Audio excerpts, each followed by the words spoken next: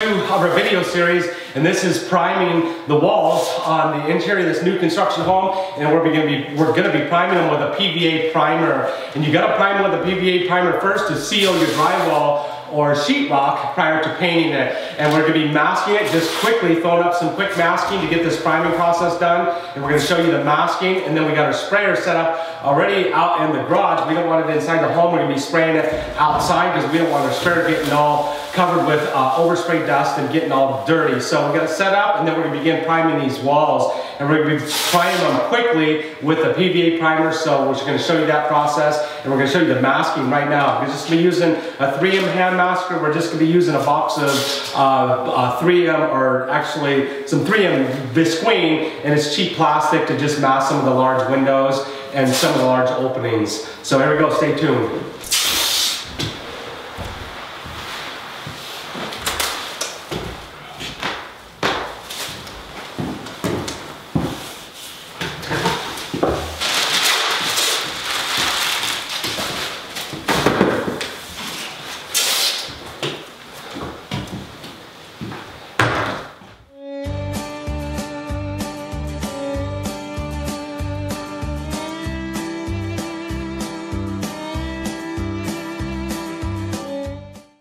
So we're going around masking all these windows. Right now with just a masking film. That makes our masking pretty fast. We'll be using some paper masking too on some of the doors and stuff, but we're getting all the windows masked off and there's very little masking that you have to do when you're priming because you're just shooting the primer. We're gonna be shooting the primer on the walls and the ceilings, but there's nothing in here. There's no cabinets, there's no flooring in here. So we're basically just covering the windows and then the doors and then we'll begin the priming process with the PVA primer. If you haven't ever used one of these hand maskers, I do have videos that will show you how to mask windows fast and how to actually use these hand maskers. I've got a video right here that'll teach you how to use the hand masker. Just click on that video and it'll take you right to that video or it'll take you to the video to show you how to use that hand masker. So we're just continuing on this masking and we'll begin the spraying. Got my sprayer set up outside and we'll begin spraying here pretty soon.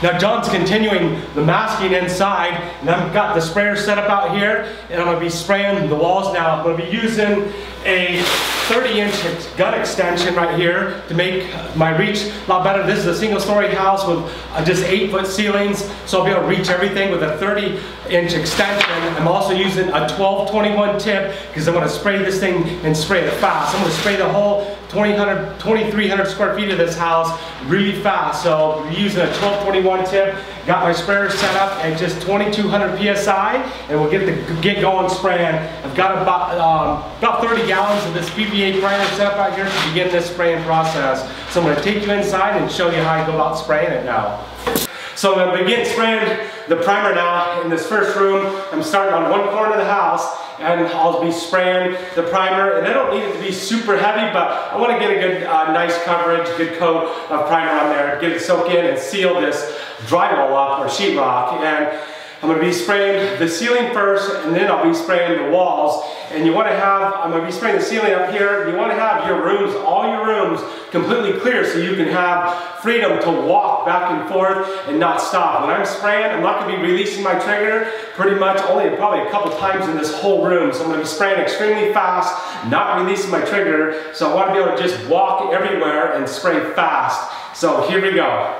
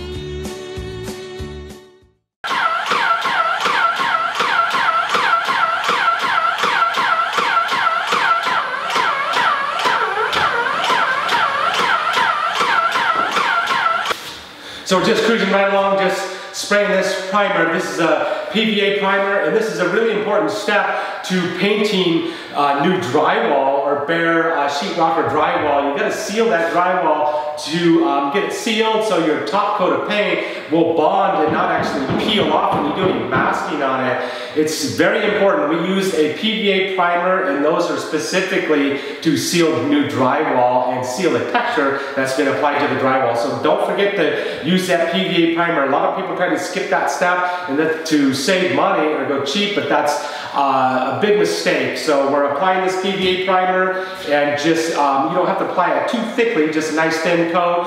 Uh, some people actually water their PVAs down, but we don't water it down, just using it straight out of the five. And we're applying it and it dries extremely fast and then we apply the top coat over it the same day. So I'm continuing to spray right along, getting all dusty and dirty. And this is one type of painting I really don't like doing, but I'm doing it to make this video series, so hopefully you enjoy it. I've almost got the PVA primer done, and the PVA primer dries extremely fast, and as soon as I get done, we're gonna be reloading up the top coat, and I'm gonna be spraying the top coat, and that'll be the third part of our video series. And uh, if you want to see that part, the third part, just click on my video right here, how to apply the top coat in this new construction process. Click on the video right here to go to uh, video number three in this series. This is how we improvise here at B&K Painting, aka the Idaho Painters Painting Company. He's trying to create a shield holder.